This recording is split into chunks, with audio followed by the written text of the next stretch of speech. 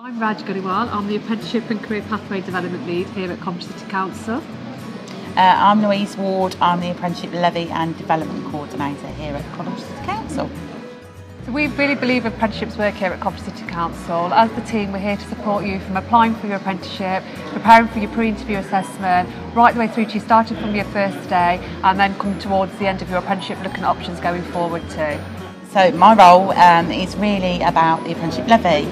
So there's an opportunity for you guys um, to get involved right from apprentices all the way through to existing members of staff. So have a little think about what you want in terms of do you want to take on an apprentice?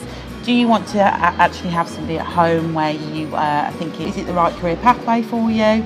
Or actually do you want to develop your own career? So there's, there's quite a lot of opportunities available here at the council. So yeah, get on board.